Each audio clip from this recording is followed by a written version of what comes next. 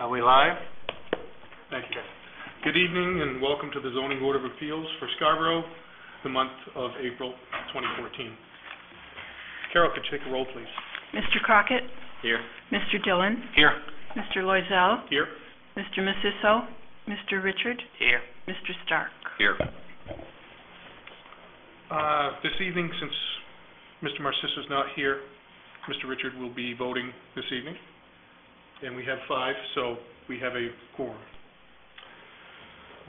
We have uh, three appeals this evening. We're going to start with appeal number 2414. Oh, excuse me. We, uh, we're going to do the Pledge of Allegiance first. Sorry, I'm still pretty green at this. You're still coming up the learning curve. I pledge allegiance to the flag of the United States of America and to the republic for which it stands, one nation, under God, indivisible, with liberty and justice for all. Now, I'd like a motion or some discussion on the... I'd like to vote. approve last month's meetings, uh, last minutes. Thank you. I second that. All those in favor? Unanimous? Rick's throwing me off.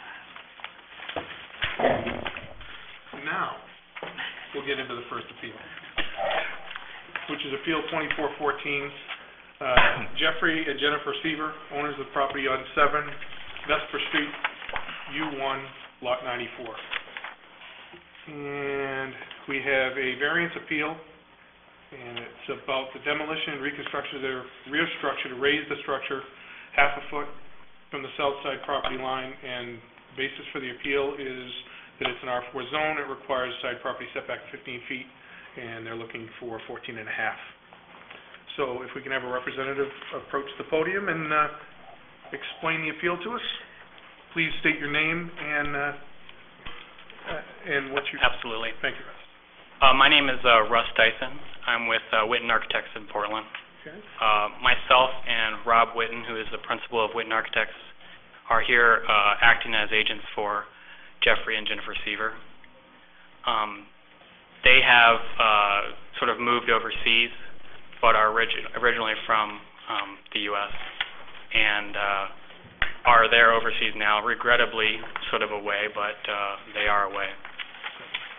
Um, in terms of the project itself, uh, we were approached by the Seavers uh, last summer, summer of 2013, and uh, they uh, showed us their property at 7 Vesper Street. It includes uh, two cottages on the property. If you uh, look at the drawing you see here in front of you, and I'll step away from the mic if that's okay. Yes. Turn it around. Um, there's a front cottage and back cottage. Uh, this drawing shows the back cottage moved six feet further away from the rear property line. So right now, it's sitting where this dash line is right now, just to sort of orient you. Okay, Thank you. Um, Jeffrey and uh, Jennifer sort of uh, requested of Whitten Architects sort of an assessment of their existing home, um, both the front and back cottage. Uh, They noted that they wanted to make some in- interior improvements to the front cottage, um, along with some energy efficiency improvements, and they really wanted sort of a protected entry into the house. Right now, there isn't one at all. Uh, At the back cottage, which is an original 1920s construction uh, that is inconsistent with the standards that the front cottage has been brought up to. Uh, They wanted to sort of, sort of improve that and bring it up to the level of construction as the front cottage if possible. Uh, They also sort of question the stability of that structure. It has some significant structural failure- failures that are happening at it. They also wanted a safe and comfortable living environment. Um, and they also wanted to address energy efficiency there. It's a 1920s cottage that has no insulation, um, and for both heating and cooling, it's sort of very expensive. Uh, the other thing that the Jeffrey and Jennifer Seaver wanted, they wanted to maintain the sort of small cottage, uh, beachfront, Higgins beachfront, uh, character at that location. Uh, Jeffrey Seaver has been sort of vacationing here since he was a toddler, so Higgins Beach is important to him.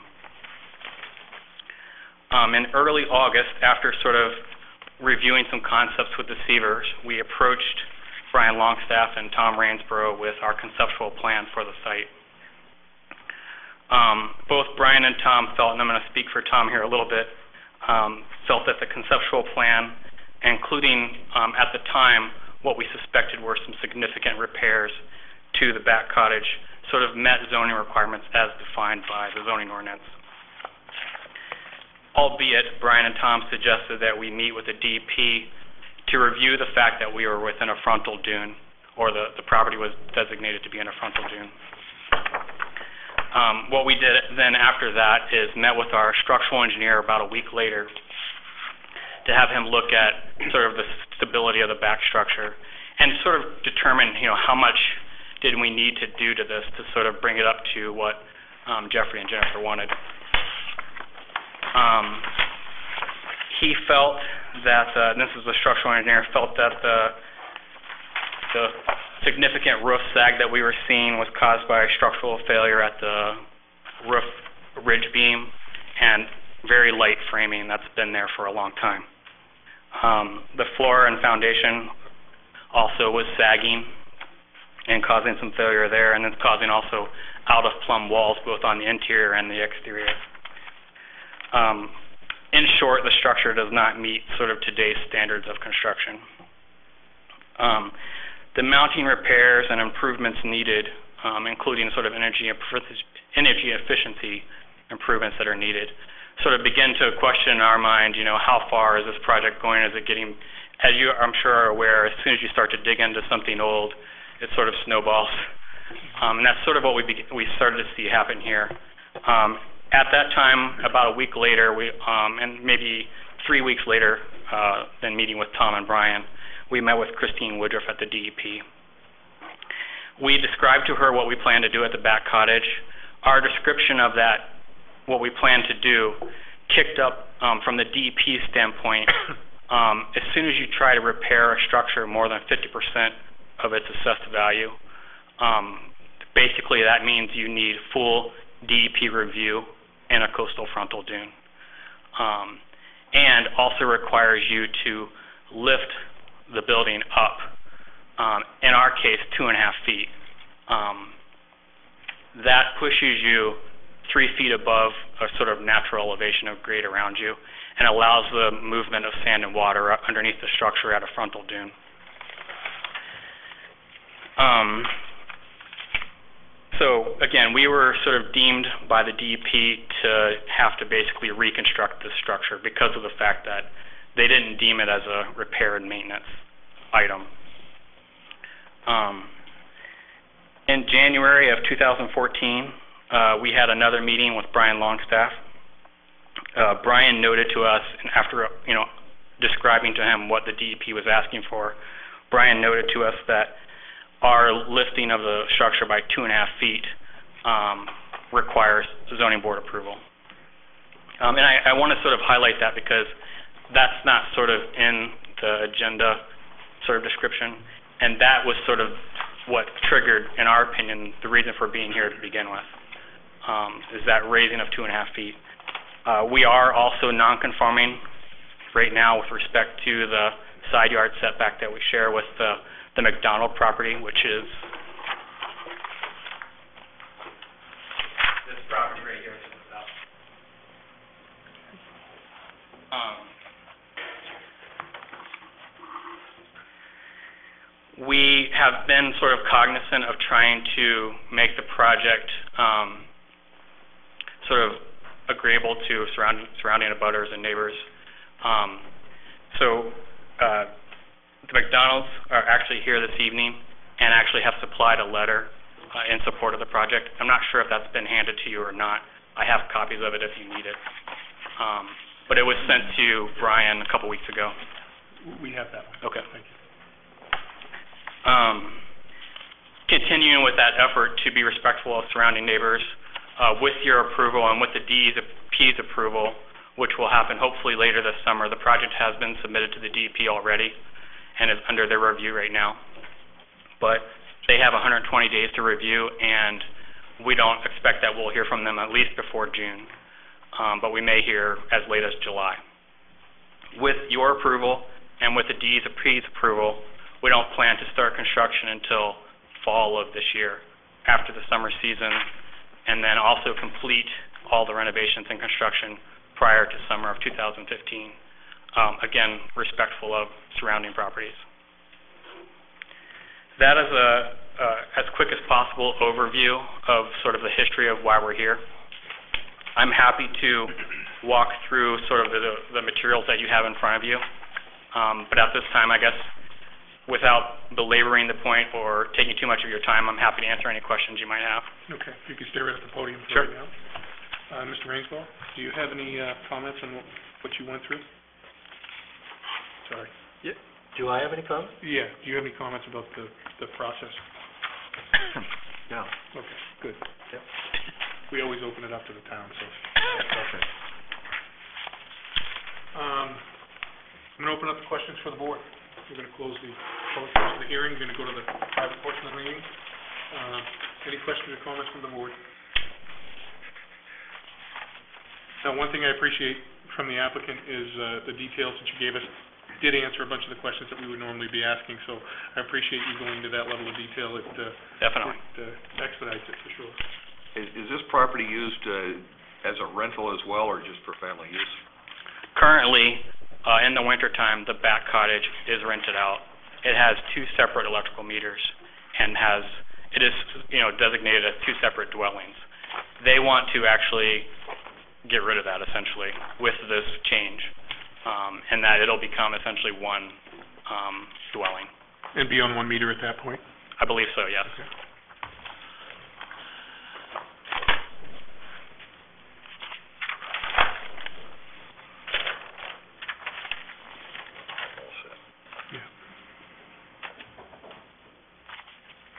And you said the DEP is gonna be giving you their decision somewhere in June or July, in that time frame. was that correct? Yes, we submitted the project, uh, mid-month, last month, Okay, and they have 120 days, which puts us into July, okay. uh, at the latest. So our approval would be contingent on that. Right. I, I think I'd like to, um, I'd like to see for the public's use, even while we have copies of all that, we need to get it on record, exactly what your plans are there. If you would show us the, the sketches that you have, talk about that, and the way that you're gonna do the foundation, Sure. um, especially the foundation, I think. Absolutely, definitely. And, uh, we have several boards here. Um, You can, start, I'll start with this one. So the folks at home can thank you. Definitely. I'll start, I'll start with this, uh, this board. Um, the front and back cottage are the two large squares here on the site.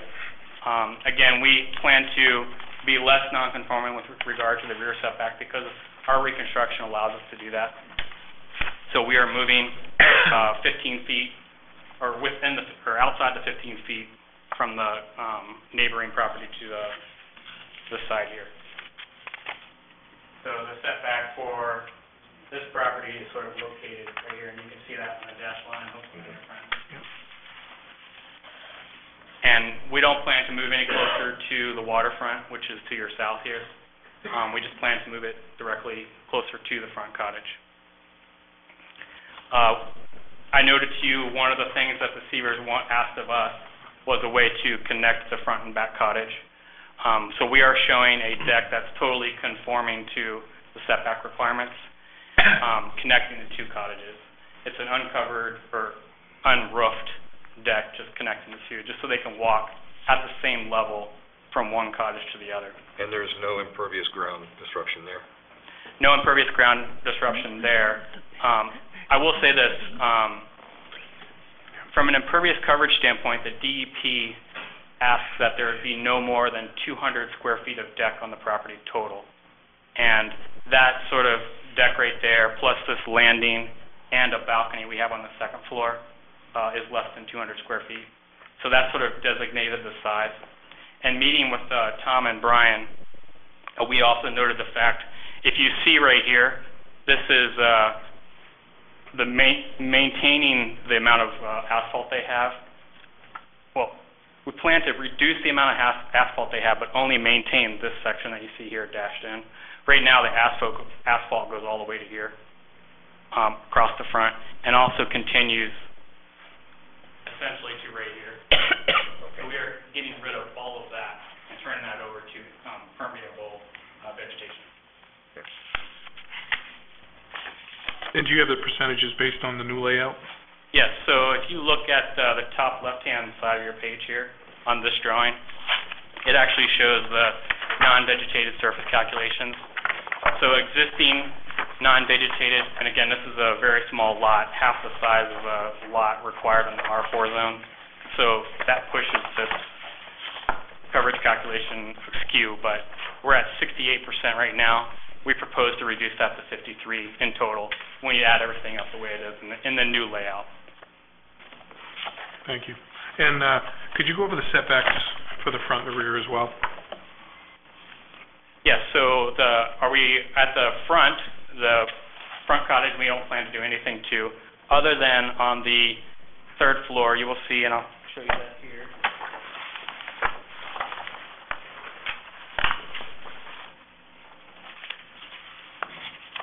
We are adding an attic level addition or a dormer essentially on the house in, within the conforming setbacks of the, of the property. So that's the front cottage. It, it doesn't change from a sort of footprint standpoint, it's not moving anywhere. On the back cottage, we are conforming with respect to the Lot 93 uh, setback, and we will be conforming with respect to Lot 88 setback. And we will be, albeit not a ton, but five inches more conforming than it currently exists on the, um, in relationship to Lot 95.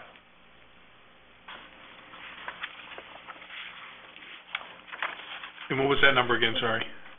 Uh, I believe that the current sort of, it, I think right now it's one inch off the property line to the overhang of the roof. We are going to make that six inches. Okay.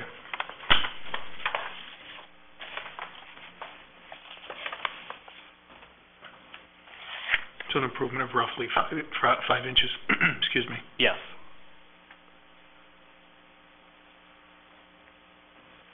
Uh, there, there was a question about, uh, the foundation. Uh, we do have a foundation plan here. Uh, this right here is the existing front cottage foundation, which is on a con- concrete post foundation all of that sort of goes, uh, below frost line, um, Okay. below the cottage. We plan to do the same thing essentially at the back cottage, uh, with the new concrete post foundation. Again, that, that foundation has to allow for the movement of sand and water underneath the building. Uh, right now, the existing skirting that's on the ba- uh, back cottage is fairly solid. It doesn't meet DEP's requirements for the passage of sand and water. Uh, look at sort of the new elevations of the back cottage, that will be much more transparent than, um, it is now, and will allow the, the movement of sand and water as the DEP requires. Thank you. Um, the back cottage itself, essentially, we are reconstructing, um, what's there now. Uh, the only, only sort of change that happens is this small dormer gets added on totally within the conforming setback of the zoning ordinance. Doesn't change the overhang? That doesn't change the overhang. Okay. Yeah, that, that happens sort of back of the current overhang. Okay. Uh, we are sort of reconfiguring some window locations and putting in windows that are large enough to allow for, uh, emergency egress out of bedrooms. Uh, right now, the windows that are there aren't large enough for that. Okay. Um, You can see here, there will be a connect, the connecting deck between the two cottages. This cottage is essentially brought up to the same floor line as this front cottage. That, that two and a half feet allows that to happen. Um, so essentially, they'll be able to walk between the two cottages. Right now, what happens is they have to come out a side door here and go down about seven or eight steps, come over here and come back up, um, three or four steps. So we're sort of just making it easier to get back and forth between the two.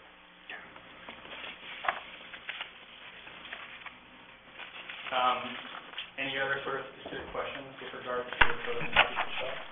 Questions from the board or comments? Why don't you hold off for right now? Uh, Are there any letters on this case? Yes, there's one.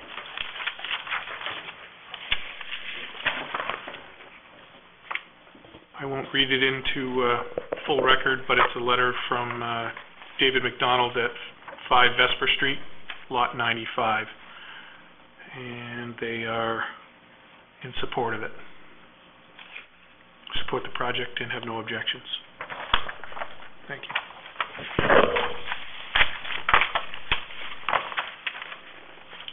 Questions or comments from the board? My opinion, uh, the structural condition of the existing cottage, the back cottage, is in pretty bad shape, uh, based on the evaluation of the structural engineer. You did your due due due diligence to, uh, to prove that. So, uh, in my opinion, it's pretty straightforward. They're within the guidelines, it's improving based on the uh, conformance of the side set, or the rear setback, excuse me, for- yeah, rear setback. So, uh, it's actually making the condition better. Um, Yeah, I think you've done a nice job of laying that out for us. Thank you. Thank you. No, we haven't. Okay, well, let me open it up to uh, public opinion. If there's anybody from the public who'd like to speak in, in behalf of this, please approach. If you just state your name and your address. All right, thank you. Hi, uh, John Agazarian, I'm on the deed at 45 Bayview, uh, in, uh, Scarborough, at Higgins Beach, and, uh, we are completely in favor, uh, no objections. Thank you. Thank you.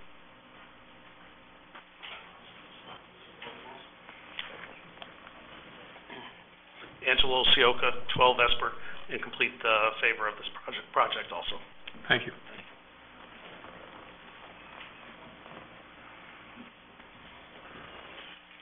Good evening, Rick Riffin, 2 Ridgeway Road and 46 Bayview Ave, in favor. Thank you. Could I have your name again, please? It's Rick Riffin.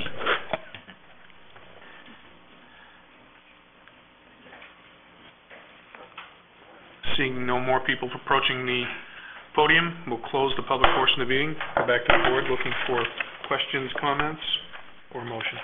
Mr. Chairman, Yes, sir. Uh, could, could we just have a copy of the engineer's report for the file? I don't have a written, uh, copy as of right now, but I can get that to you if that would help. Okay. This was all sort of verbal, emails, back and forth, phone calls. Yeah, it, it would help to have something for written records Yeah. for, uh, for the director. Thank you. I could probably make that happen tomorrow. Appreciate it. Read the criteria. Okay. We'll move on to the criteria. There are questions that we need to, uh, to answer to move the appeal forward. It's a variance appeal. Thank you for taking the podium. So if you could, uh, give us your response to the questions. The first question is, the land in question cannot yield a reasonable return unless a variance is granted.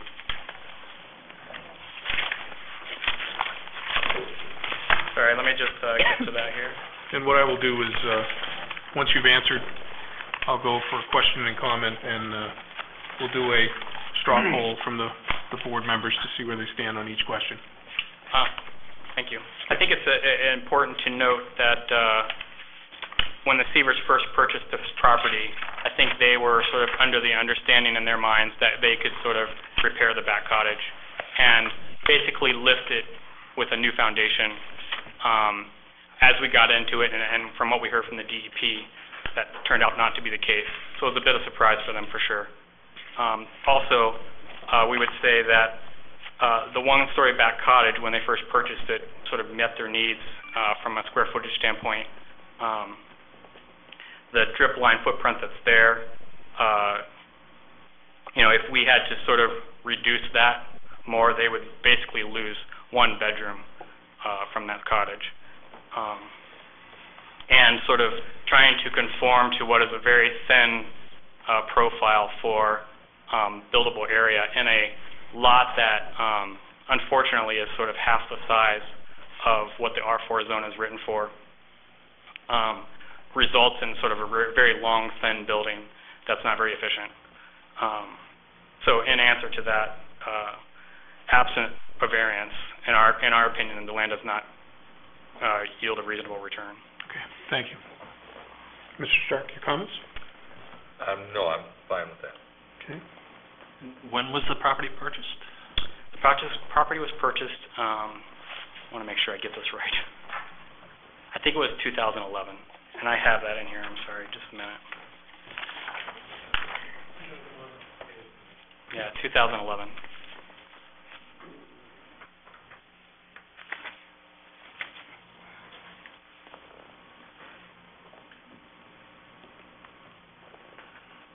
Anything else? No, I'm just having a hard time with purchasing it and not knowing that something couldn't be done. Not that it couldn't happen, but just Right. due diligence. Okay, Well, I think, I, uh, I understand. Go ahead. If, or if you don't mind, in answer to that, I would say, if, uh, you sort of think back on the history of the property, the front cottage was actually raised in its sort of exact position, um, and added onto vertically. Um, and so cogn, you know, I think someone would automatically perceive that, hey, I could just sort of continue that, um, when they went to purchase the property. I can see that, thank you.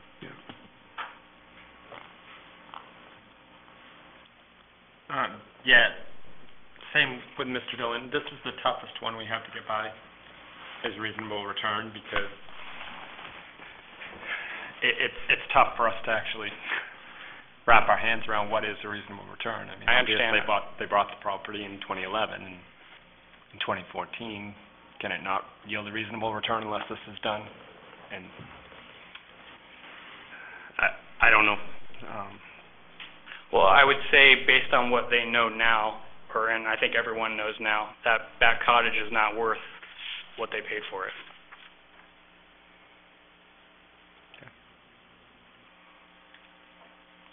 I, I, I guess I kind of look at it a little bit differently. I, I don't look at reasonable return as always have to, having to be a financial return. Um, I look at it this as, as, uh, fair use of the property. And if this, uh, property is in, in disrepair and not able to be used, uh, as most structures would be used, then that is, that, to me, that would meet the criteria of the reasonable return as well.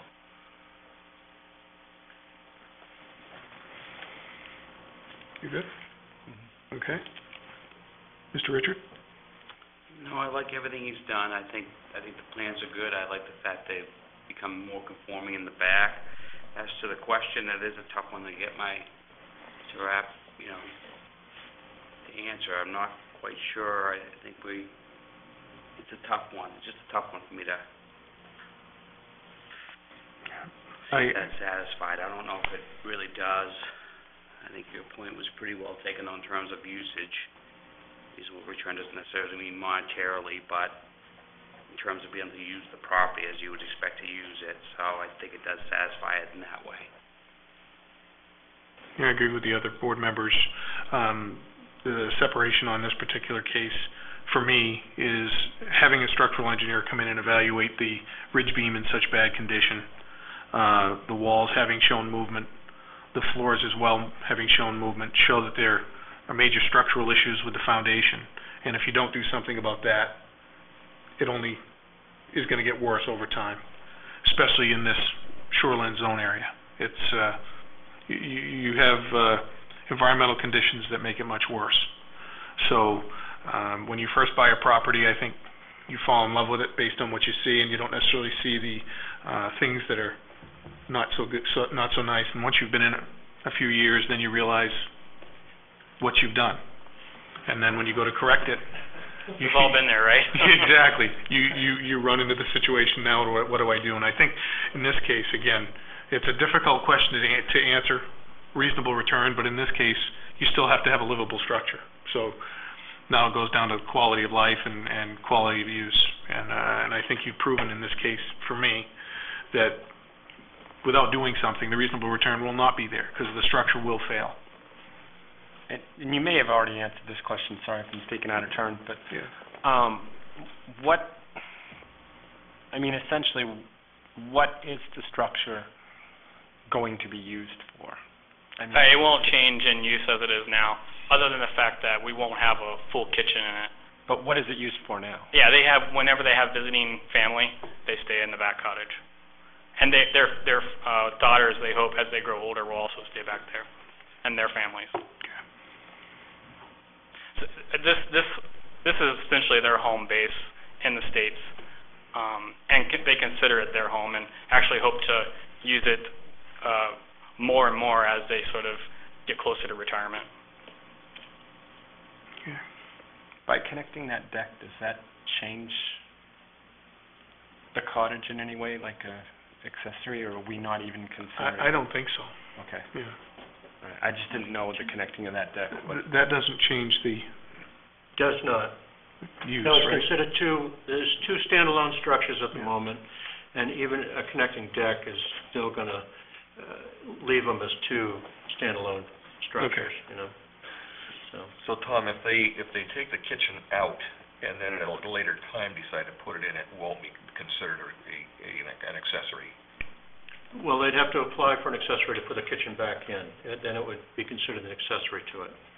But, um, the, eh, taking the kitchen out at this time, eh, it would just be an accessory sleeping quarters.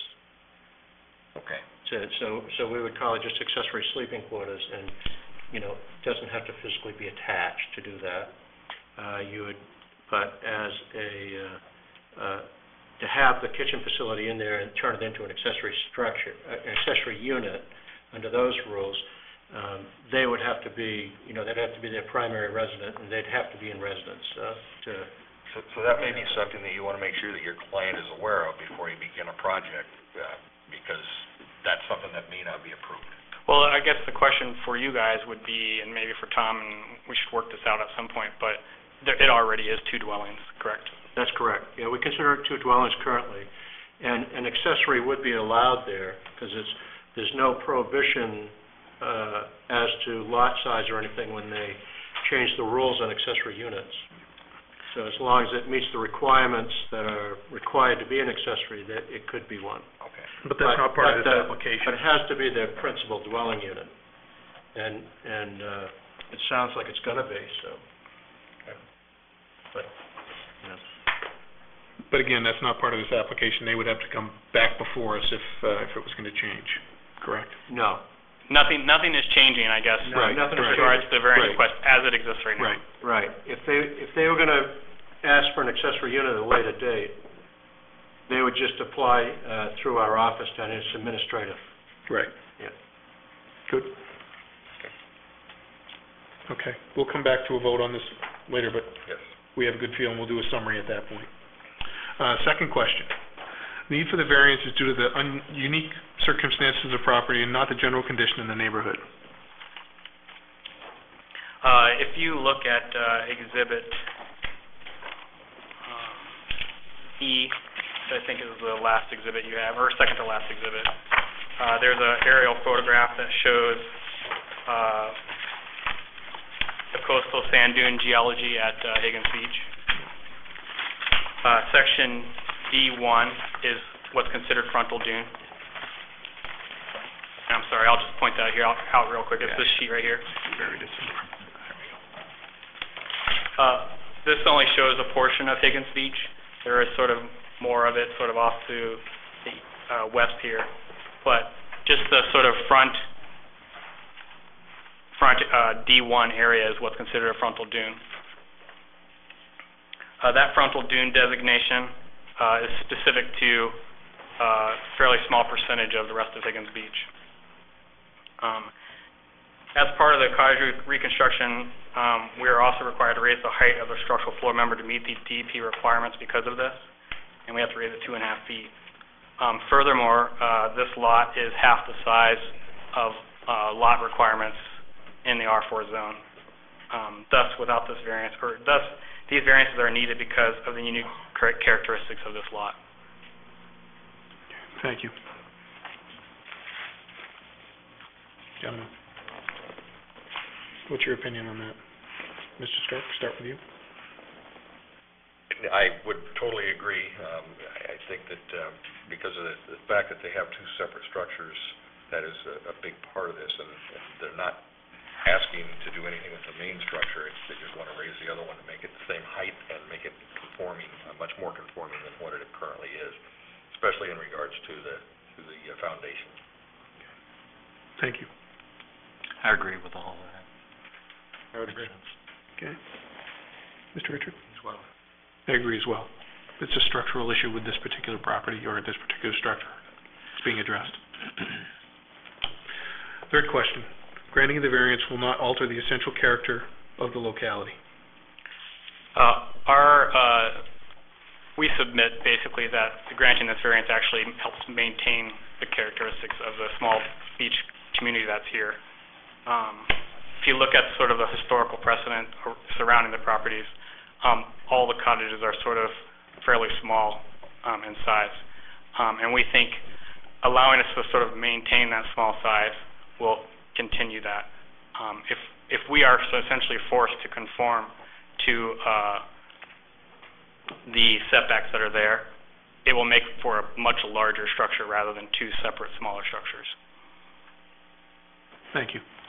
Gentlemen. I think in light of, uh, really what, the the character of that neighborhood, pretty much all of us, almost all, or the, by far the majority of the units are now, have been re- renovated, uh, been a lot of improvements done down there, I think really for the better.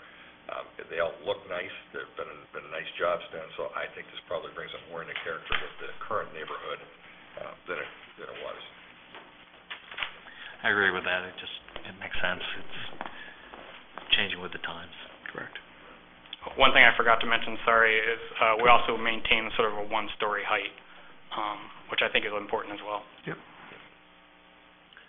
The only thing that's a little unique is, is the deck connecting the two, but, I mean, I don't think that's gonna dramatically alter the essential character of the neighborhood. It probably will be unique down there, but. Thank you. Mr. Richard? No, I think it's right in keeping with what's going on down there. I think you guys did a nice job. Thank you. And I am as well in agreement. I think if you tried to put a roof over that uh, connecting deck, that would change it. It would look like a single structure. Yeah. And it now looks like a large single structure, but with having uh, an uncovered deck, that it does seem like a separate dwelling and uh, doesn't change the character. No, good point. And I- one thing I will point out too is that deck is sort of configured somewhat in response to DEP's requirements. It has to be sort of three feet above grade, essentially, to allow for water and sand to move underneath it. Thank you. And the fourth question. The hardship is not a result of the action taken by the applicant or prior, prior owner. So this hardship is caused by changing land use requirements over time. The height variance is needed to comply with uh, DEP regulations for movement of sand and water underneath the structure. Um, When the back cottage was orig- originally built, there was no local ordinances or standards for setbacks.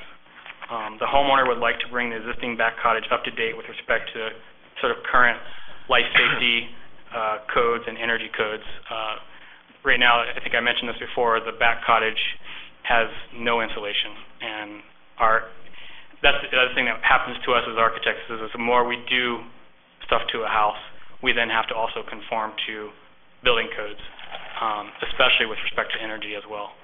Um, and then the thing I, and we mentioned earlier about, uh, emergency egress from the bedrooms is an important piece too, especially in a sort of densely populated, uh, community like Higgins Beach. Thank you. Gentlemen? Yeah, I, again, I, eh, I like your answer, thank you, that's, it pretty much covers it. Um, I think part of it also is the fact that it's such an old structure, that, uh, any old structure is eventually gonna need some type of improvements just to keep it standing, so, um, I'm I'm good with the answer on that. I'm good with that answer. It improves the, the building and conforms to requirements. Yeah. I'd agree. Mr. Richard? I'm In agreement. I'm in agreement as well. It's not an, was not a action by this applicant or a prior owner that caused this. Okay, I'm gonna open it up the board for further questions or comments. I think you've done a, a real nice job of putting this together. I like the, uh, I like the design of it. I like the way that you did what you could to bring it more into conformance. I know that you're pretty restricted with the size of the lot, and, uh, you've done a great job. Thank you. Thank you. Questions, comments, or a motion? I'd move to approve appeal twenty-four fourteen contingent, uh, on the DEP approval. Uh, I would, uh, like to add to that, I would also, wherever I put my notes, uh,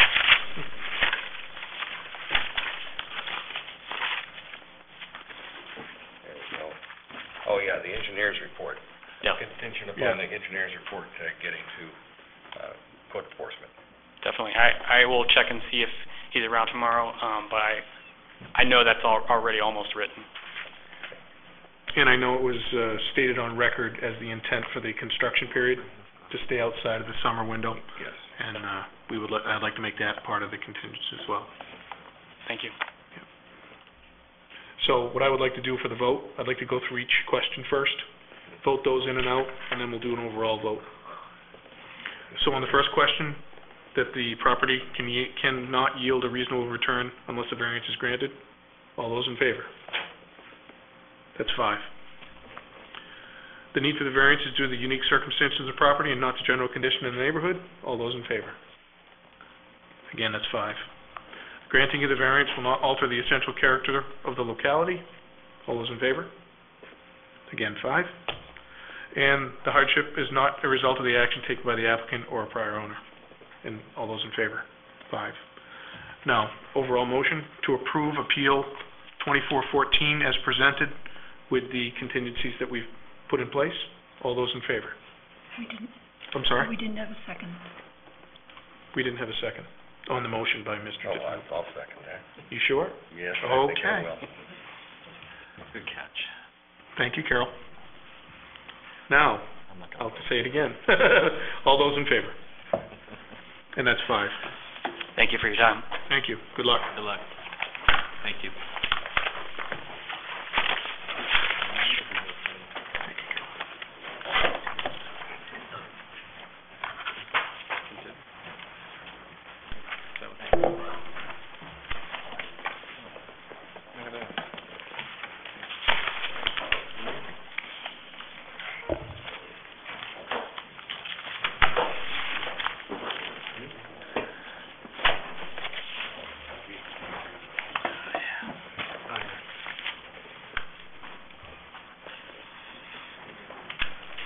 No. This is the one that's tabled.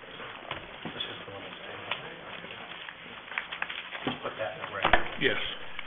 Thank you.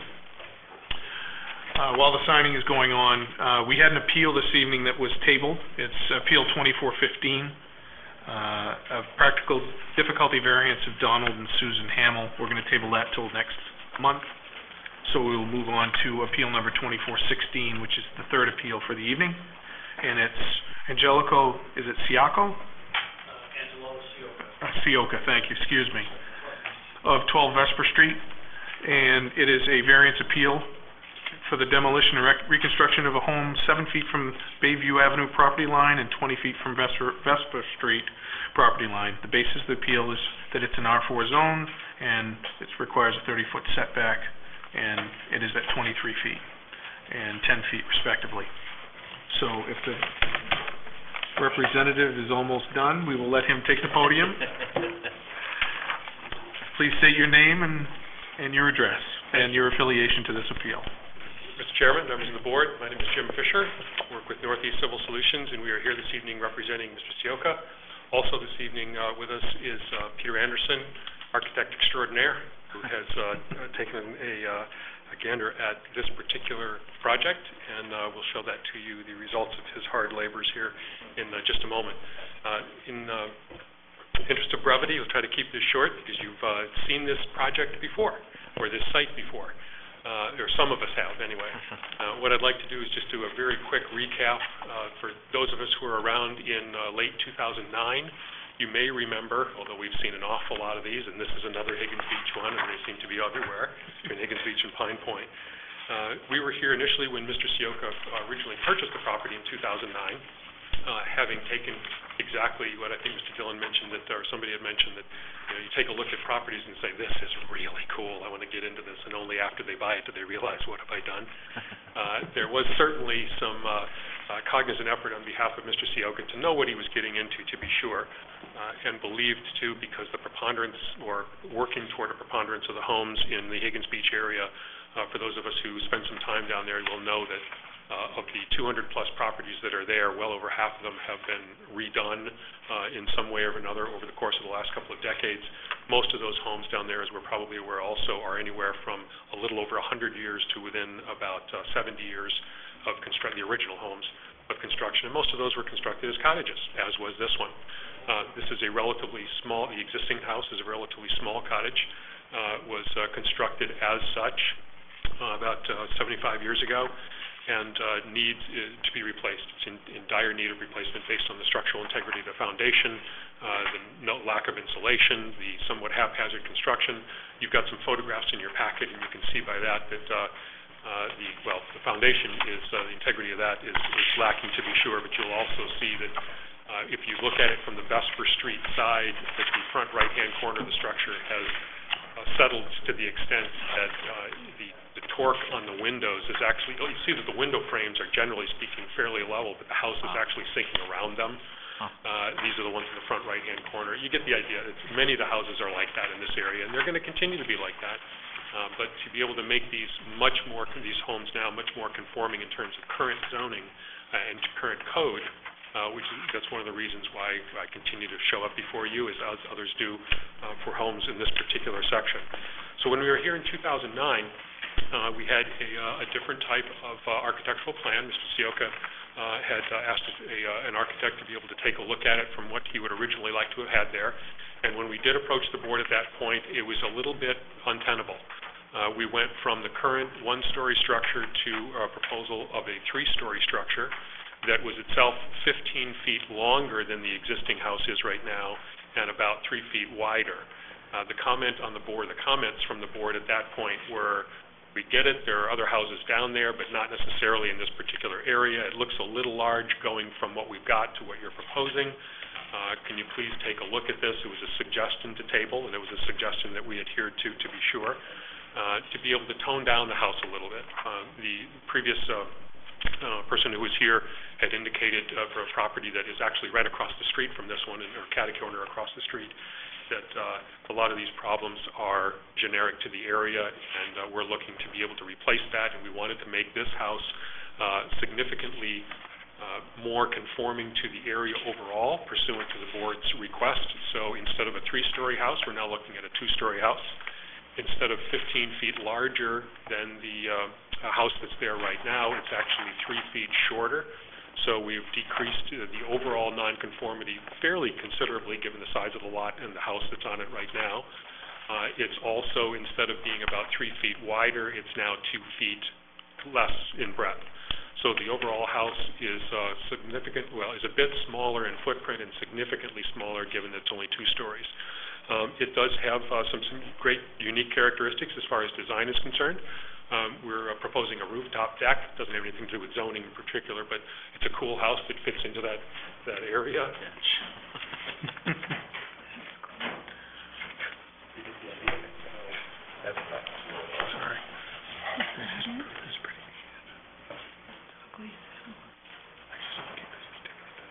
Thank you.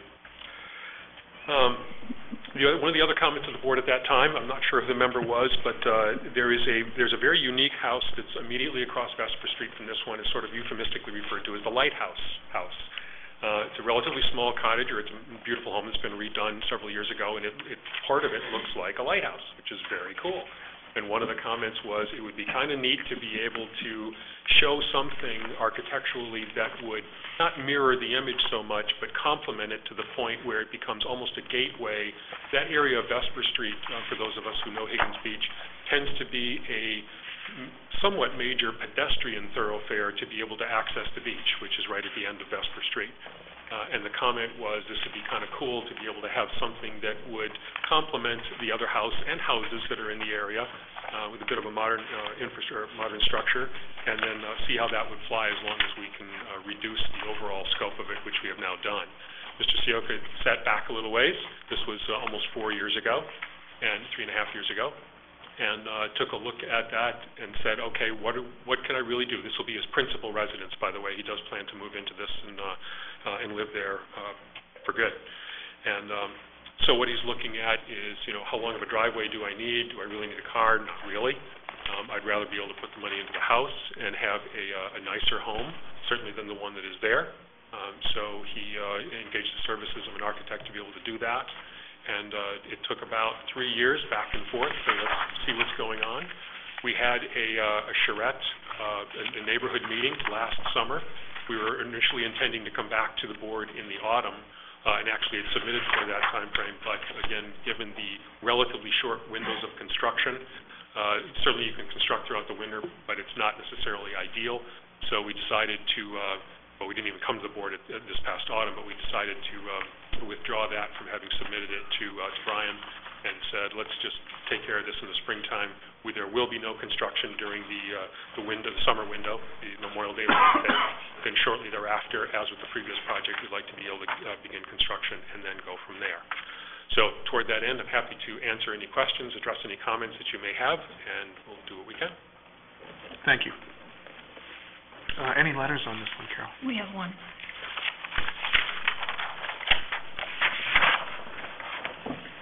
It's a letter from Earl Hall, and it doesn't show his address. Property 44 Bayview, thank you.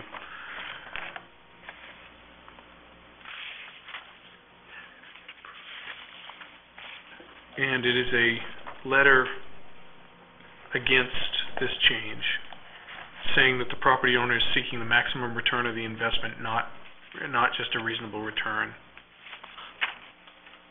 The granting of any variance should be an exception, not the rule. Request the variance be denied until the above items are addressed, I'll- so I'll read them into the record. Request the board not consider granting the variance unless you address the following. Have the home set back twenty feet from Vesper will be out of character for that street, na- neighborhood, and beach community. Will create a parking problem on Vesper Street as people will park in front having new home constructed twenty feet from Vesper will be block, will be blocking existing views of the beach from current property owners. They believe there are other feasible alternatives. Again, the property owner is seeking maximum return, not reasonable return, and the granting of the variance should be an exception, not the rule. Considerations for the board, having the home built on the existing front setback thereby eliminating the blocking of the views from the property owner on, on Bayview and parking problems on Vesper. Having the property fenced on the Bayview side to stop access by vehicles to the property from the street. Have any further board, future board address the, fr- the frontage setback problems? In short, if almost all the homes are set back seven feet from the property line, there's not any reason to require a new home to set back twenty feet from the property line. Any, uh, address the elevation story height of any newly constructed homes at Higgins Beach. Thank you for your consideration, Earl Hall.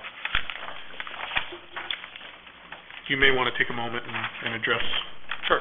some of those. Do- And do you want to have it in hand so you can see what, No, I think I remember the, the okay. key points. Um, all due respect to Mr. Hall, everybody's Nope, thank certainly entitled to their opinion, and, and we certainly like to be able to address those. okay? Um, one of the uh, things that uh, we do have to be cognizant of, and it may be that Mr. Hall i- is or is not cognizant of it, and that is the, uh, the traveled way, the streets themselves uh, in the Higgins Beach area are, as typically in many places, only a small portion of the actual right-of-way. So when you're actually looking at a house right now in the, in the um, rights or the property lines that we're referring to as far as the variance is concerned, are not taking into consideration, and they don't, they shouldn't be by law, going all the way out to the street. There's a fair number or fair amount of land that is between the edge of the pavement and the actual property line. So the house, what we try to do uh, from the building envelope perspective, which is what Mr. Hall is referring to, is make it as non, or as conforming as possible, or at least non-conforming, or less non-conforming than the structure may already be. As far as the 20-foot setback, it sounds like he was saying it ought to be able to fit in the building envelope. Um, right now, that setback is four and a half feet from the edge, from the front of the road, or front of the, uh, the right-of-way, our property line, and we're proposing to go to twenty feet. So we're making the, um, the structure, proposing that the structure be considerably less non-conforming on the Vesper Street side than it is right now. Uh, likewise, on the Bayview side, uh, because we're in a corner lot, we're somewhat stymied by having two front setbacks. Uh, we're decreasing the nonconformity on the Bayview side as well by pushing the house further back from Bayview than it is currently. So overall, with all due respect to his comments, we're actually making it considerably less nonconforming uh, than it is currently. And the building envelope that is there um, is about 40 feet long, but it's only four and a half feet wide. So because of the two fronts that we've got, and then the side, the two sides as well. So in effect, there's very little to almost no building, en- no practicable building envelope that we can work with. Um, So toward that end, again, we certainly respect his opinion, but this is really a best-case scenario, win-win all over regarding what's there now or what could be there. Thank you. Thank you. I'm going to go to the board for questions and comments. I, you know, I w- of course, we always like to listen to the comments um, from the public, I- it- and while we may or may not respond to those in the the manner that that the public would like to hear, I think our job here is to make sure that we make sure that you're as close to, uh, to the conformance as we can. I think you've done a very good job of evaluating the property and and making it as close to, less non-conforming than than it than it has been and probably uh, done the best job that you could do on this. So I, I really don't have any more questions on this. Do we, I, I know we have all the plans and everything, do we have a drawing of what the home would look like? Yes.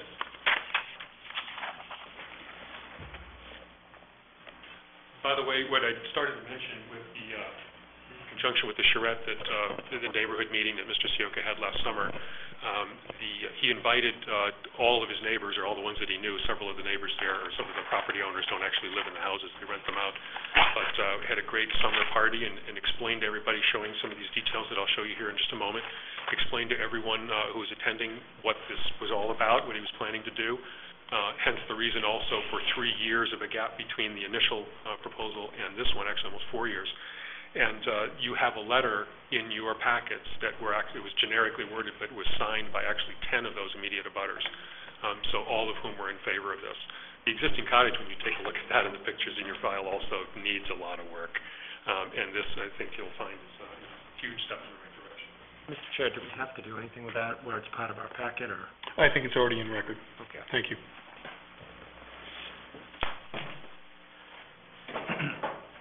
So, Mr. If you have any architectural questions, certainly Mr. Anderson can, uh, can address them, but, um, in the interim, uh, what I'll do is this, he has prepared some outstanding boards. These are uh, renditions that, as if the house were already there, um, with the photograph. We've seen these, some of these before. Um, but, uh, so what you're looking at essentially are, are several views that I'm gonna be showing you. This is the proposed house, right here, uh, relative to the other houses, the photographs of which are actual. So these other houses up and down the road are actually already there. And again, this is what we propose from this particular view. This is the view as if you're coming down into Higgins Beach, down Bayview, paralleling the water, and continuing to head down uh, in a general northeasterly direction. This is what you're going to see.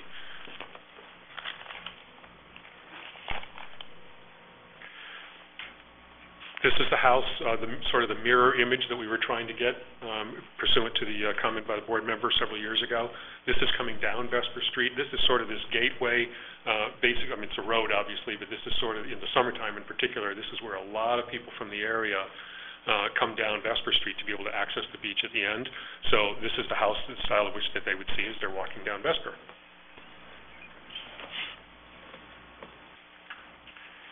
And then again, looking their other direction down Bayview, this is uh, again trying to mirror the image here, albeit, uh, uh, you know, a bit muted, but uh, nevertheless trying to come up with something that is uh, uh, uniform in the neighborhood. So again, you'll see um, what we're looking at here. The house is relatively small, considerably more smaller than, than it was proposed before, and it's considerably smaller than many of the houses in the neighborhood.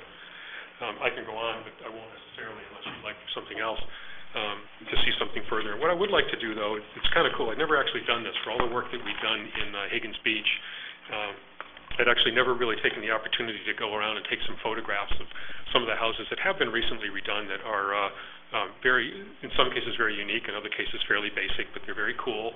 Uh, It shows a lot of the elements in some of these houses to the extent that you're interested, uh, that we're trying to uh, capture in this house as well.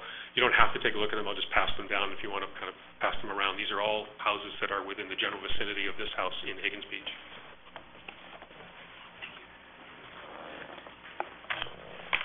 I assume they're being routed to, uh, address the essential character question. Exactly. Thank you. Can, Mr. Fisher, could you give, just show us that next slide that you have there? Um, This is the uh, the Vesper Street West view, so if you're actually coming from the beach, walking back into the community, um, this is what you're going to see as far as the house this way. Um, So you can see that it's two stories. Um, It's got this little access area, kind of a cupola thing up here, and then it's got a roof deck over portion of it. The other portion is actually a uh, slanted roof like like we would typically see. So when you actually view the the property from the other direction of Vesper or from Bayview, it's a two-story house with a roof on, with a slanted roof on it. When you look at it from this perspective, coming from the beach, it's got a a half of it, or that half roof comes up to this side, uh, so it's not only a camouflage, as it were, from the Vesper Bayview side, um, but it's also practical because of storage there, and then the other half, the beach half of this has got the deck. You'll see in some of these photographs, to the extent that you may be interested, um, that there are uh, quite a number of houses down there with rooftop decks. That's why I brought this whole comment up, is that I never really looked at that before.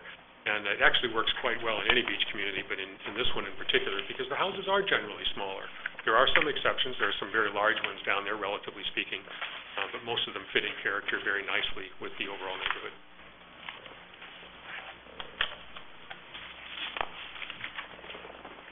Well, while I applaud the fact that you're actually bringing it back more into conformity for everything and addressing some of those concerns, by what we're seeing there, and it may just be that it's just a drawing, but it just seems like it's, it, it does seem a little bit out of character down there, the last one you showed me.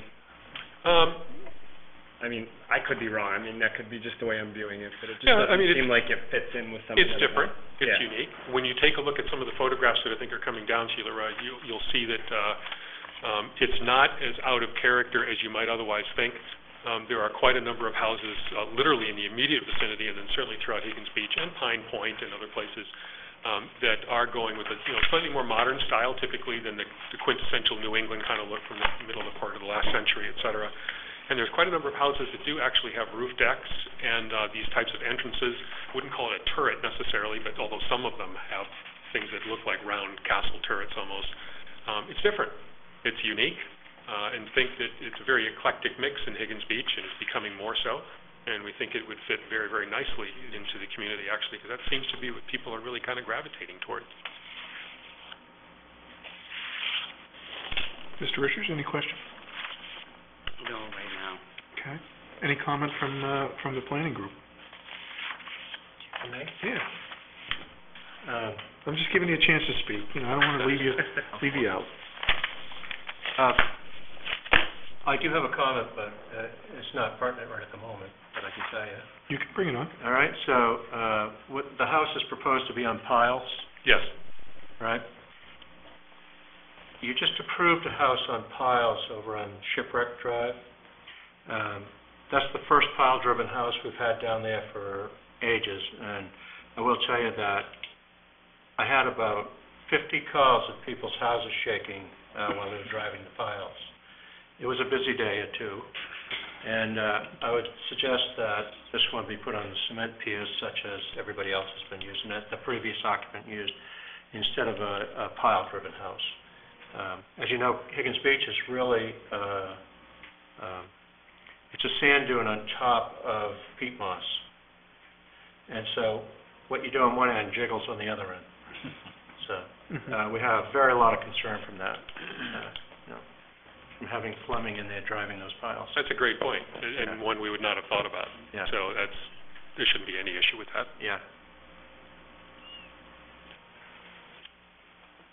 You will, by the way, just as an aside, you're going to see a lot, or we are going to see a lot more of that, um, because as you're probably aware, just a couple of years ago, there was an expansion by the DEP, actually by the MG, uh, Maine Geological Survey, um, through the DEP, such that any houses, not just in Scarborough, but anything in this, uh, generally speaking, erosion hazard area, shoreline zone, et cetera, because of the predicated uh, uh, three-foot rise in sea level, uh, that we're supposedly looking at over the course of the next century, a lot of the houses we're gonna be seeing now are gonna be on, uh, piles Yeah. or some sort of elevated foundation. So, so for this project, you wouldn't have a problem changing the foundation? Um, no, that's more of an architectural question, but I don't think that the foundation would be, since we're designing from the ground up, it shouldn't be a problem. more of an engineering question, um, we weren't, we didn't Peter? Yeah, if you could please state your name, and thank you. Peter Anderson with PDT Architects, Architect. Um, we had soils tests done, um, on the site and reviewed with our engineer options and conferred with the owner in terms of preferences for those options and as well as conferring with, with Jim, um, as, uh, uh, civil engineer expertise. And we opted to just go with the, the pile foundation because of durability, longevity, and performance issues. Uh, in terms of the concrete, uh, uh, type support posts that you mentioned, we didn't consider those initially. Uh, we would be willing to take a look at them, certainly. Uh, but it's really a question for the engineers to get back to us, to tell us based on the geotech information they have and the loads created by the house itself, um, what the implications are for that. So, but uh, if, if they feel it's, it's doable and uh, Mr. Sioka's amenable, then certainly we could take that turn. That would be a change I think in, I, in re- requiring that, though. So I think before we would do that, we would have to consider that very closely. There's multiple ways of putting piles in. There's micro piles which can get drilled in. There's spin, fin piles which can be spun in, and then there's driven piles. So Correct. there's multiple ways of doing it, but I, before we go and tell people how to do it because of the noise issue, I'd be more likely to restrict the time that they could drive those piles I if they don't, chose to go that way. I way. don't think it was so much a noise issue as it was a structural issue with some of the other Okay, houses around there. is that true? That's true. It was, Okay. it was not a noise issue. It was the, uh, uh, it was the jiggling of the whole sand dune. Okay, gotcha. Yeah. It was shaking, every- it's knocking things off people's shelves and stuff in their homes, uh, as far as five cottages and six cottages away. It, it, it- it really is, it's a, That's something we need to think about. it's something We've you never had think about on that one. to Uh, broach, uh, so. There are many other options that, uh, uh, uh, that's, I've been here thirteen years, I think, and that's the first pile-driven, uh, foundation I've seen. Uh, they're certainly not, uh, exclusive to foundations, is having driven pile. Uh, but there's certainly screw piles, and there's all kinds of other options for them. So, But I appreciate you bringing that up. It's, Yeah. a- it's a very good point. I- I it made think- my life easier. I think if we approve this, if we decide to go ahead with an approval, I- I'd like to add in there that um, an engineer's report be uh, s- supplied to, to the um, zoning board of appeals, or the, zo- to the code enforcement officer, with the options there and, uh, and, and what their findings are on that. Because if, if it's feasible, I would like to see it any way except, except driven. Okay. If, if that's causing structural problems for other people, I, I'd like to try to And I think that's a fair point, and I think it's also fair for the code enforcement office to work that, because it, it, the complaint would go through them. So Yeah. that would be the, the right people to bring it through. Certainly. Thank you.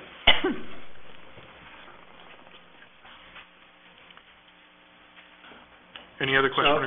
I, I Go would right ask that if you, if you're gonna put that responsibility on us, that, uh, that they bring back, you know, that the pile-driven foundation is their only option. Correct. All Yes, right? it has to And, be and so one. that they bring, uh, but that's not the way you word it. Okay, so. That's fair. Yeah.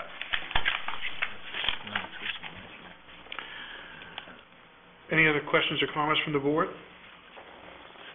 I do. Um, Okay. the, uh, the rooftop deck, that's only accessible through that, uh, spiral staircase area? That's correct. That was it for me. Okay. Thank you. I'm gonna take this moment to, uh, open it up for questions and comments from the public. Is there anybody here to speak?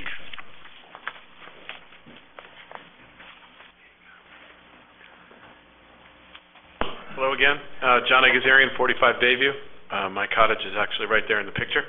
Um, I'm here to support the project, um, feel that this is absolutely what our neighborhood needs. Um, looking forward to having the existing structure, uh, changed, um, and, uh, couldn't be more supportive of what, uh, what's being done here. I hope it passes. Thank you.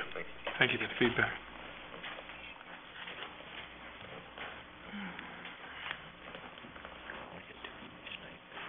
Good evening, Rick Griffin, 46 Bayview Ave. I actually live right across the street from Mr. Choka, and ironically, the first day I met him was in this very chamber. I had just bought my house a couple months after his, and I was told that some monstrosity is going to go up. And like like you pick, pick, pointed out, Rich, is like, oh my God, what have I done? This is my neighbor, and we shook hands. Um, got to know what his plans were. I thought I went to a barbecue with a charrette. Thanks, Mr. Fisher. a new word tonight. Um, I actually will have a blocked view as part of my what's going to happen. He's going to put up a much more valuable house. Uh, the duress, I've been in his house. It does need some work. He calls it eyesore with a small s, with eyesore. Um, it's still lovely property. Um, so my taxes will go up as a result. Um, my sister parks on his lawn illegally. He's going to block her parking spot with his fence, but they're good friends. What he's doing is he's put a lot of careful thought into it. He has met with most of the neighbors, if not all. Um, Peter has done a great job. Mr. Fish has done a great job. Angelo loves Higgins Beach. He cares about it. Um, it is a little different, but so many more are out there. If you've driven down Bayview lately, there's one house that was a small cottage is now one of the biggest things I've ever seen in my life right on Bayview. It looks beautiful. I'm glad they're doing it. I'm completely in favor of what Angelo's doing, fully support him, and I hope you pass it for him.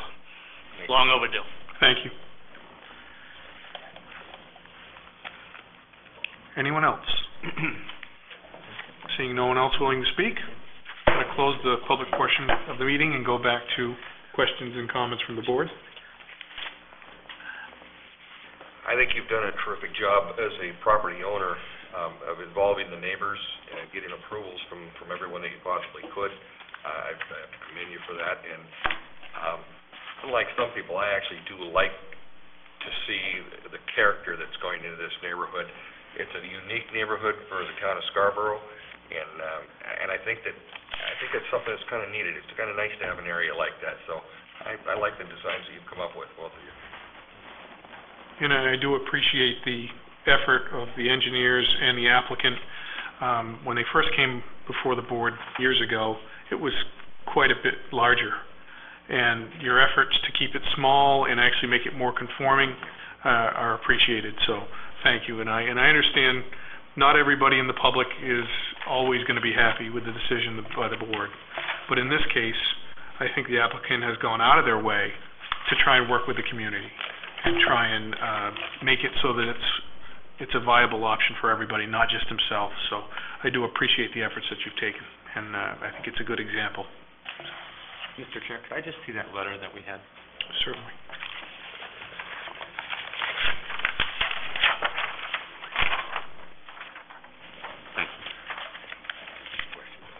Any other questions or comments? Final comments or a motion, and I, I just had one quick question, I'm just reading through this, but, um, on the parking, did you say there's not gonna be a vehicle, or the concern wasn't for parking? Did I misunderstand that, as far as the new home with, Oh, no, there's, there's a driveway. There will still be, there'll be plenty of parking for, um, the driveways. So one of the issues of, uh, of Higgins Beach is that people tend to park wherever they possibly can, and, uh, this, whether they ask permission or not.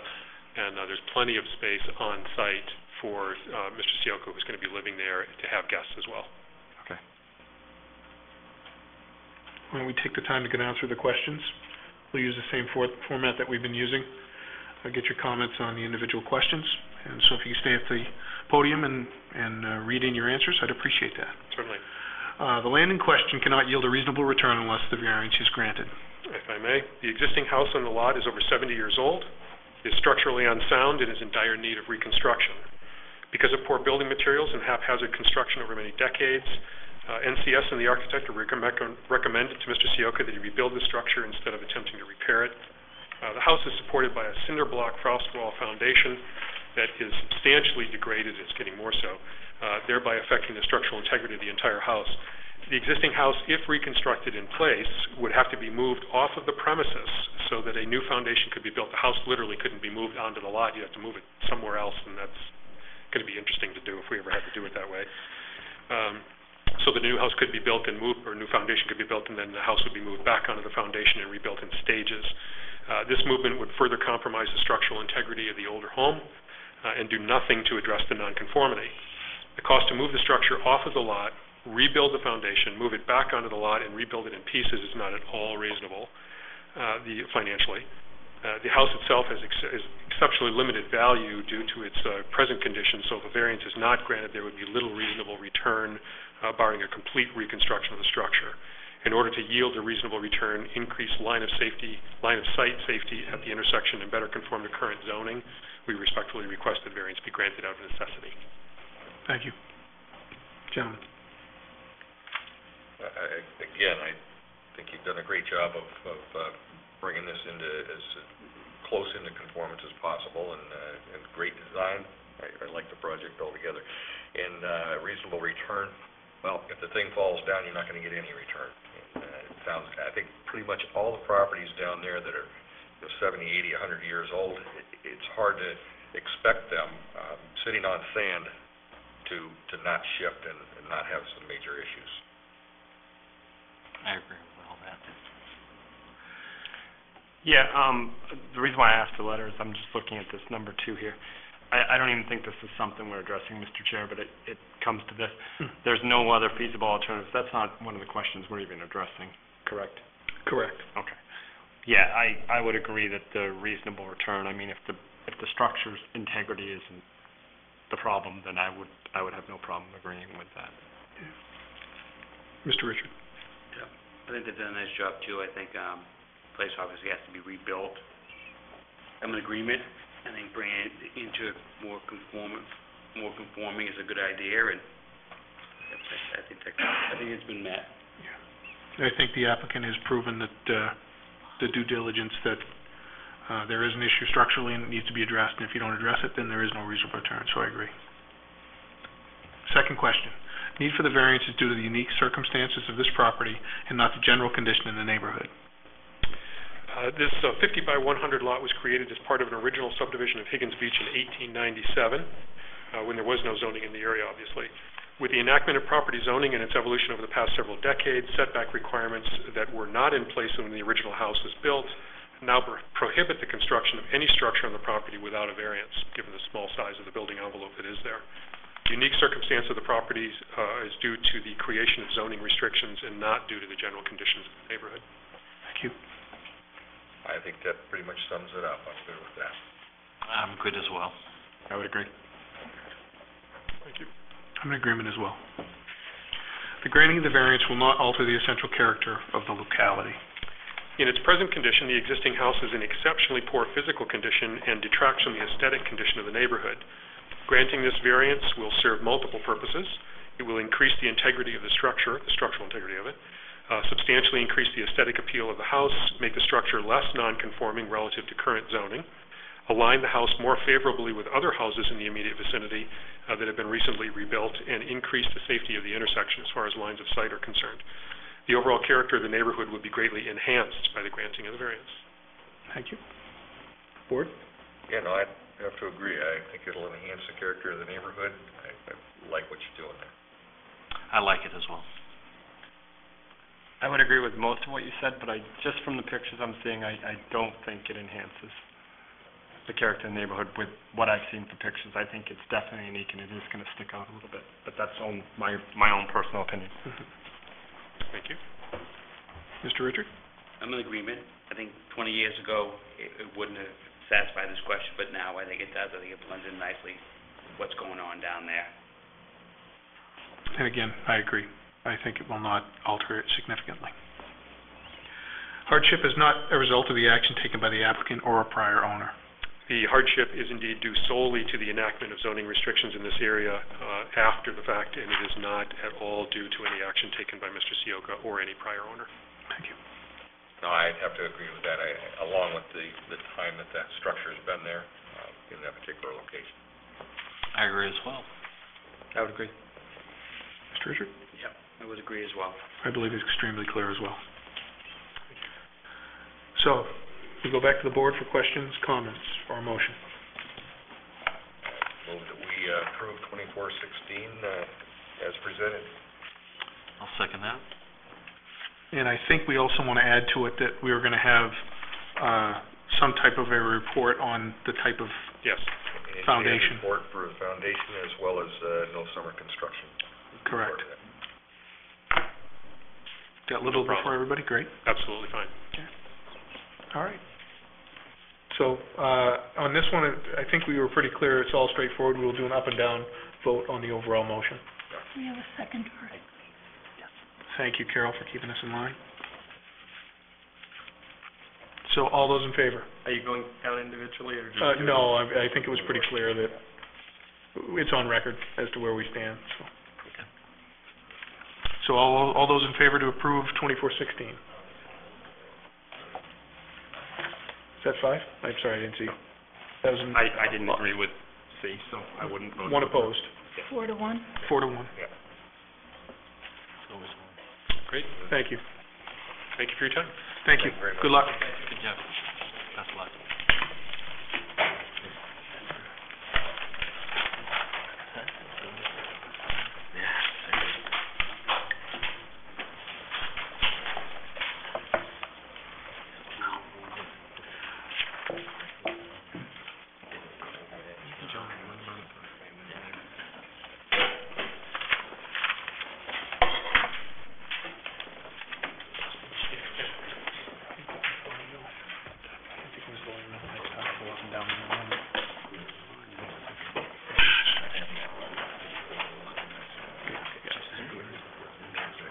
Right, right, we know tomorrow. All right. One second, second guess.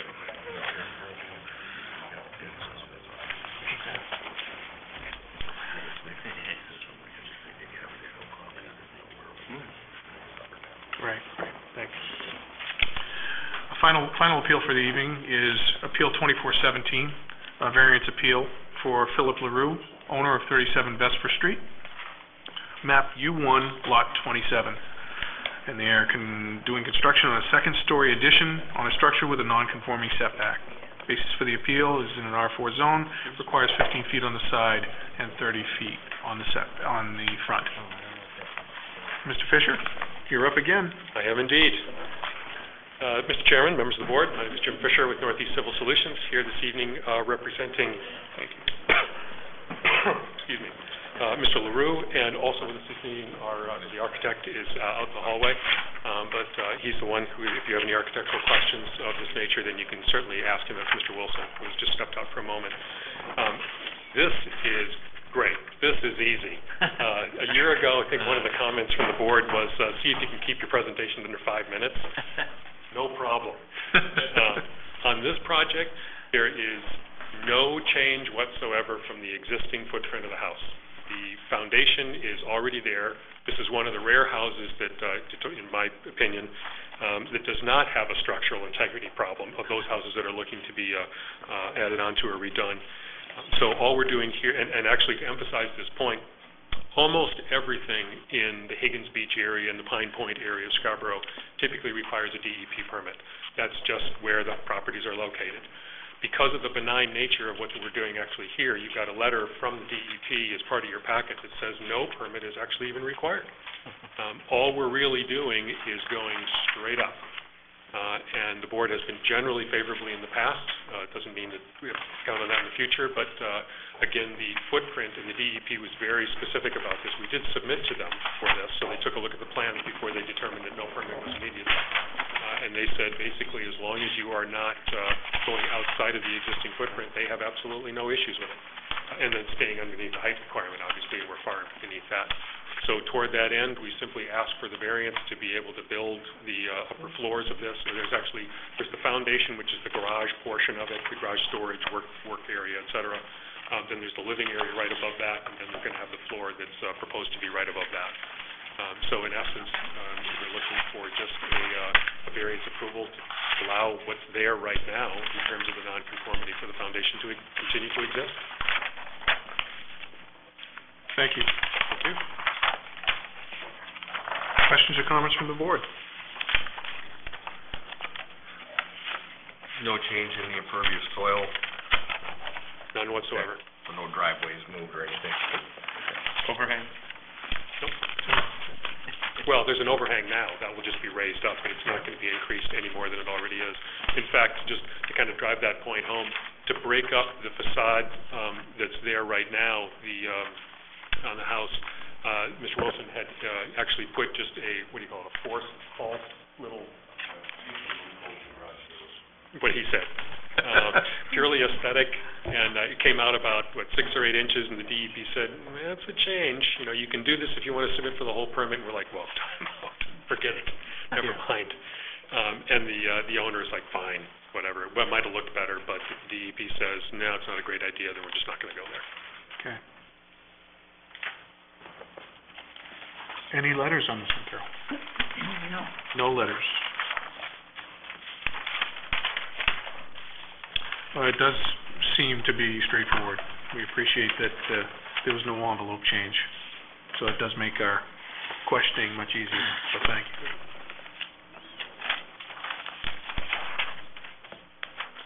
Actually, if I may just interject one more point, just to kind of drive this home a little bit. You see the little, uh, the, the properties highlighted in the green, and that little orange rectangle that you see there? That's the building envelope. It's the what? That's the building envelope. It's rather challenging. This is also a corner lot, so you get the idea of what we're up against. Pack of gum. Are you like walking up and down Vesper Street at this point? Uh, we're going all over the place. It's pretty cool, actually. Well, I, I, I have no I- questions. I don't have think questions this or is just comments about as straightforward as anything we've seen. Let me open it up to public comment. Does anybody from the public like to, wish to speak on this one? Seeing no one, we'll close the public portion of the meeting again, go back to the board. Is there- Again, Oh, sorry. no, please. Is there, I'm looking at the picture online here, it looks like there's another house that could be like right next to this or across from this, or a couple that look like they have the same type of configuration you're asking for, is that? Mhm. Uh, on Vesper Street, it's just one up away from the water, is, I think that's what you're referring to. Must be, because we're on the corner lot there. Yeah, yeah, I'm looking at two houses that look like they have the same almost type of footprint as to what you're proposing. Yes, they're very similar. I mean, I, I think you could have opened yourself up to, uh, potential questions if you were going for a third story, but, but you're not doing that, so. Well, they're, Pretty reasonable. it's the- the first story, right, it's, it's a two-story living area, um, and then there's the, the sort of garage basement kind of, I mean, so you can get a car in there, but Right. it's not like you would normally think of, but Right. yes. Right.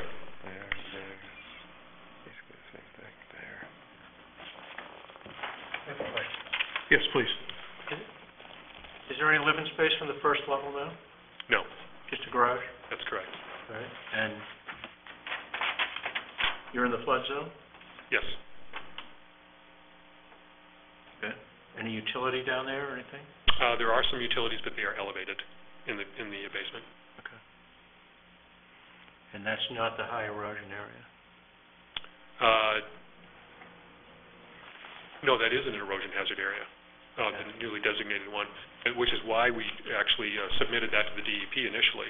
And what they had said was, um, that because no permit was necessary based on the, uh, we, we were looking at actually cutting into the existing foundation, um, for the flood hazard. Uh, and they said that, uh, even though the DEP is not directly affiliated with FEMA, they still take a look at that. Um, and they had indicated that if we were going to be building from scratch, we'd have to do that. Um, but because we're not going, we're not doing anything with the foundation whatsoever, that is grandfathered, and so that is non-jurisdictional.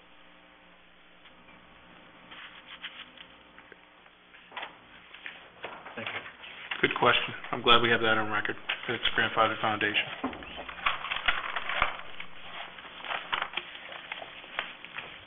Again, questions or comments from the board? I like it. All right, why don't we go to the questions?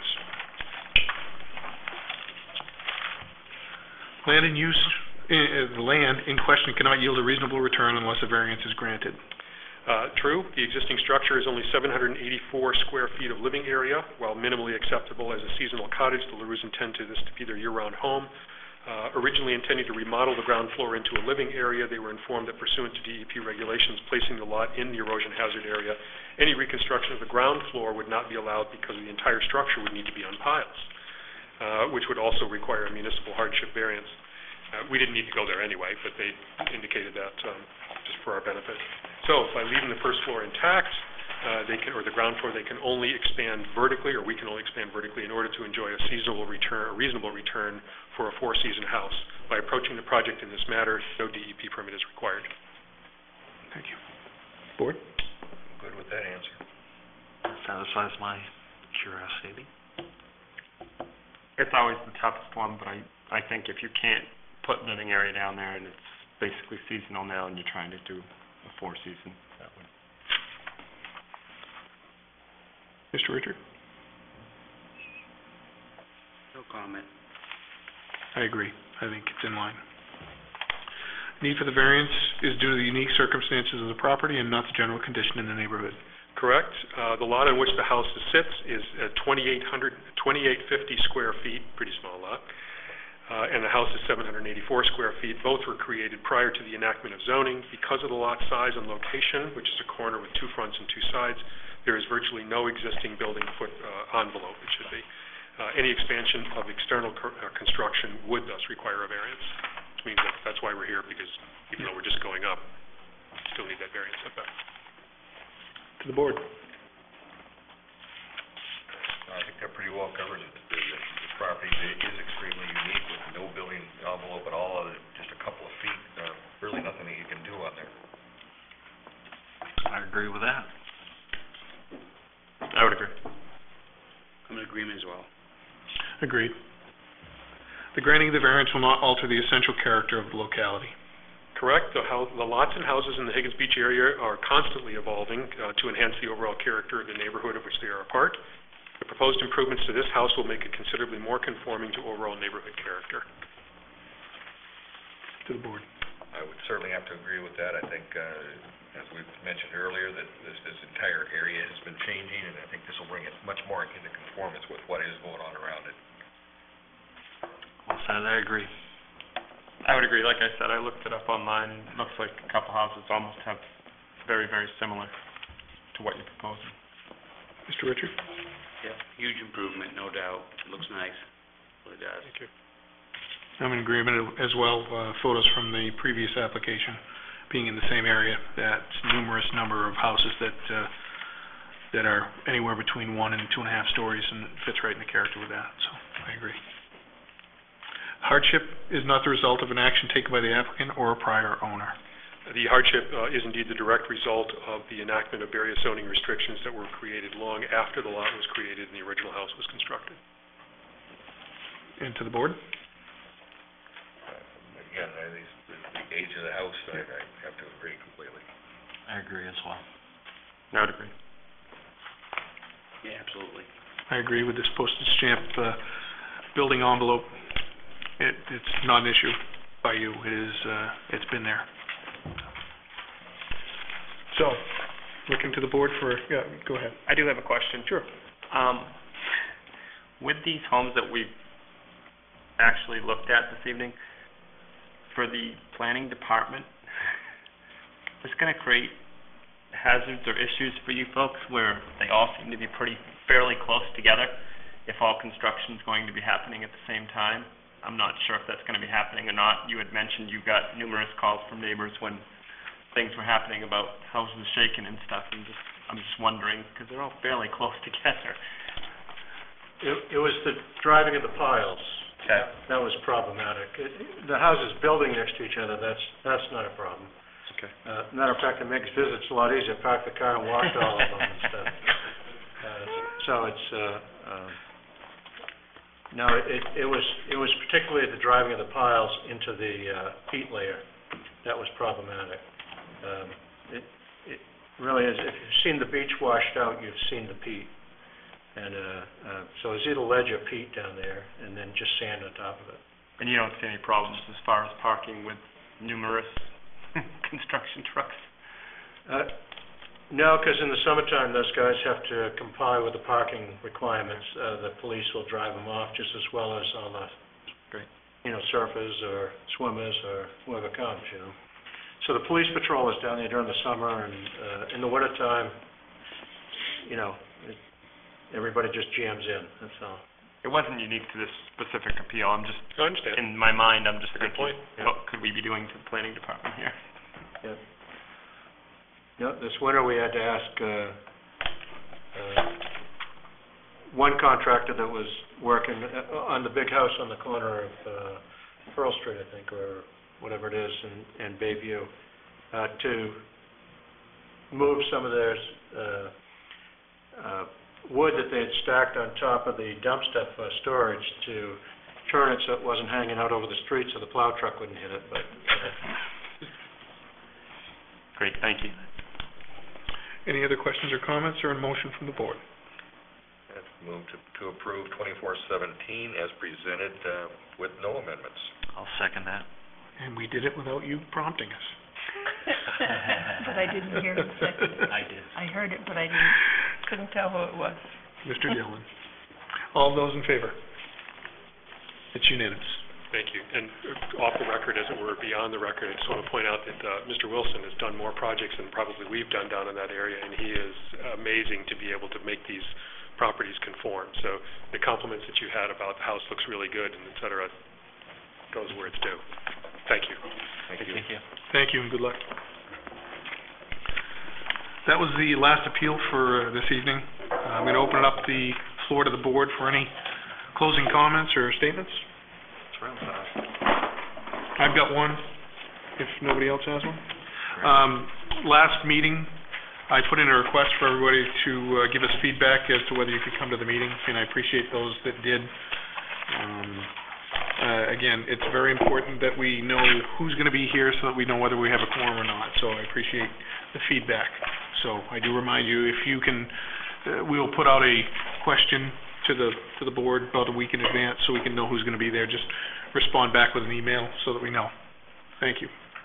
And uh, to the general public, we are looking for additional people on the board. If there's anybody out in Scarborough that would be interested in becoming a member of the zoning board, we are looking for people, one or two. So you can put in an application and uh, become a zoning board member. It's so much fun. The pay is great. Uh, the money is awesome. So we are all looking, always looking for people. Thank you. If there is nothing else from the board, Move to adjourn? Second. all those in favor? Thank you very much. Have a great evening.